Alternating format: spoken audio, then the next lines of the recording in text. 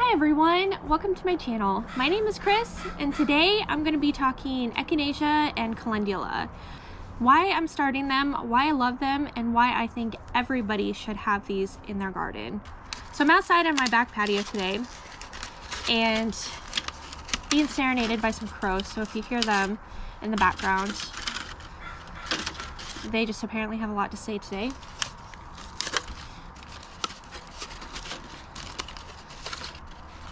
I am going to start five plants of Echinacea and quite a few of Calendula because Calendula is actually one of my favorite herbs. It just is so amazing and can do so many different things.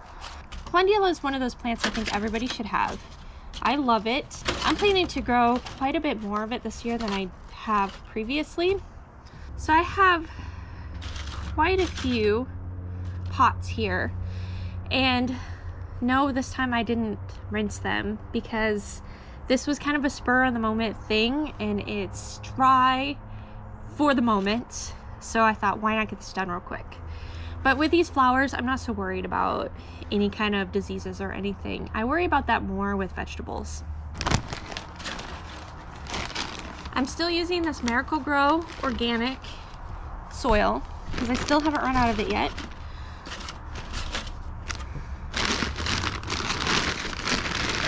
While I fill these up with soil, let's talk echinacea and why it is as fantastic as it is. So echinacea can be found in just about any store, any pharmacy, any kind of herbal place. It's it's not hard to find. You can often find the flowers in nurseries or even sometimes in big box stores sell echinacea.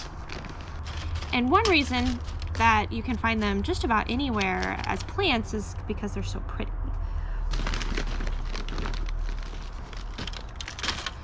They have these beautiful purple flowers. And why wouldn't you want those in your garden, right? I don't have any actual echinacea plants to show you what the flowers look like. But as long as these do well, you'll be able to see them by the end of the summer.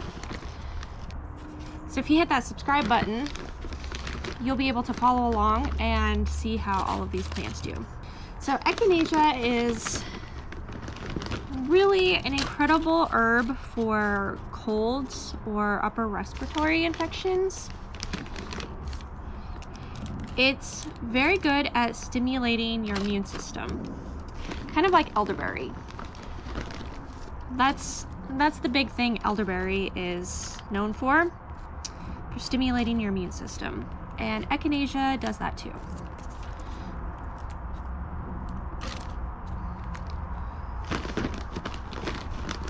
Because it's such an immune stimulant, if you have an autoimmune condition where your immune system is like overactive all the time, then echinacea is something to be a little bit more cautious about because it could potentially cause problems revving up an already over revved immune system even more.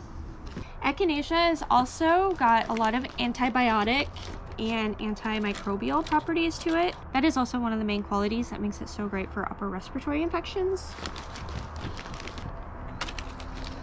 It really likes to target that area of your body.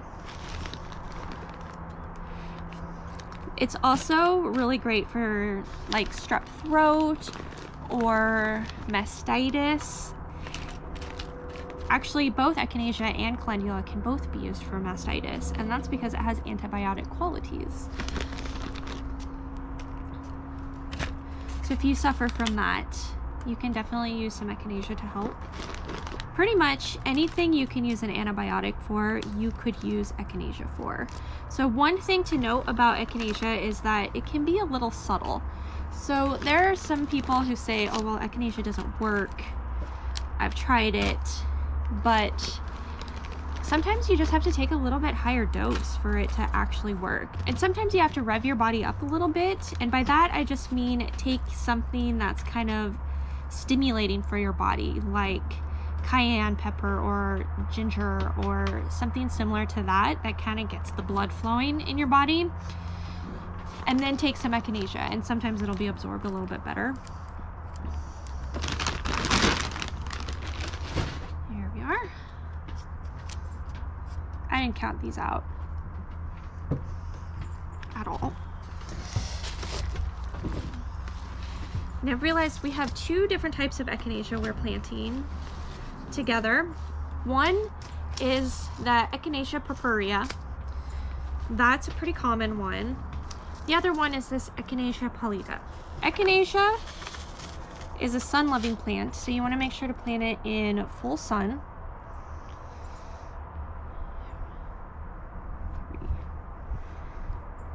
Four, I think I'm going to do four of each. That should suffice for now.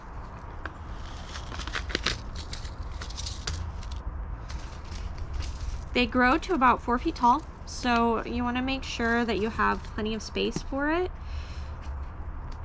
And also be mindful if you're planting it around other flowers, or other plants that are kind of low growing, that you don't block the sun with the echinacea for the other plants that need it.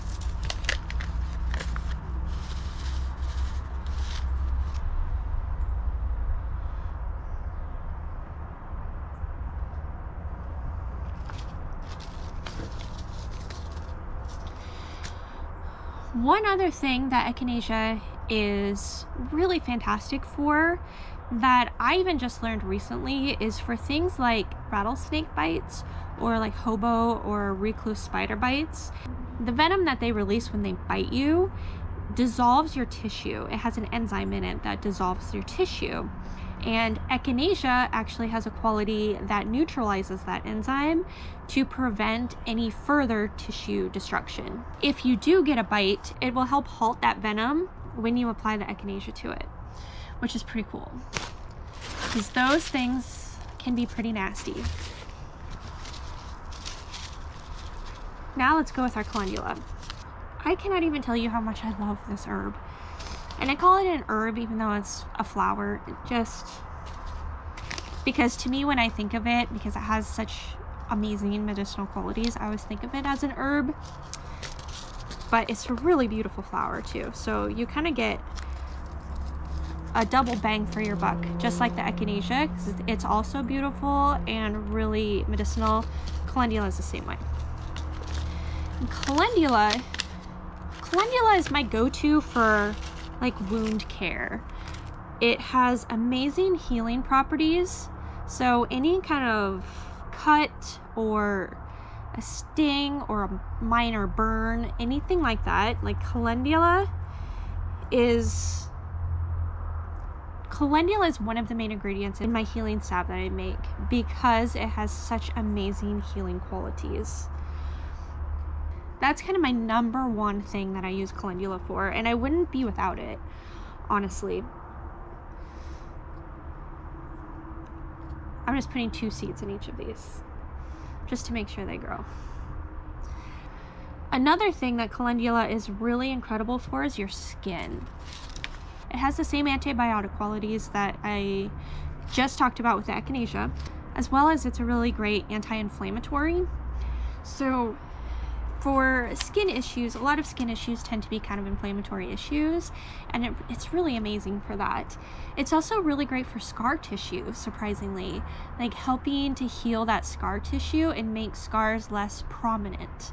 When I make soap, I like to put uh, calendula infused oil in my soap just because it's so incredibly good for your skin. It can also be really good for like oral health. If you have any kind of inflammatory issues in your mouth, like gingivitis or something like that, it can help with that as well. And with calendula, you can use any aerial part of the plant. Leaves, stems, flowers, they all work amazing. You can make calendula into a tea. Um, you can make, actually,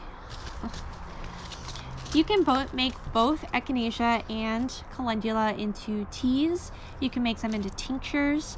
You can infuse them in oil and create salves, or like I use the infused oil for calendula for soap. You can use them in pretty pretty much any way, really. They're quite versatile herbs and they're mostly very safe, except with calendula, you don't want to use it when you're pregnant. That is a big deal. Don't use it when you're pregnant. Echinacea, don't use it if you have an autoimmune disease. Calendula is a really popular ingredient for like natural diaper rash creams and stuff like that. It is generally very safe, very soothing. As I said, it's really good for the skin, not only for us who've had our skin for decades, but also for the young ones whose skin is brand new.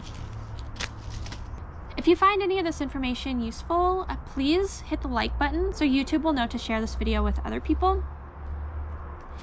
So I'm just planting these. I'm just kind of poking them in a little bit, about a quarter to a half an inch or so.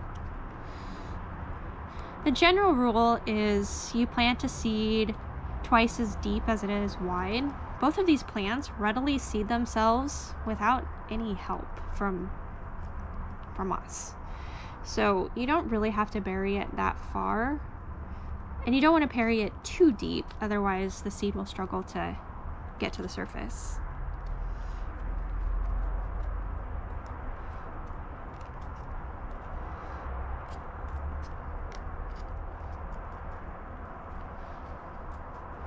And there we have it.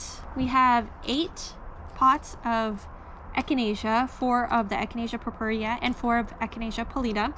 And then we have 13 pots of calendula. I have six pots of the calendula Resina, which is just your basic orange calendula.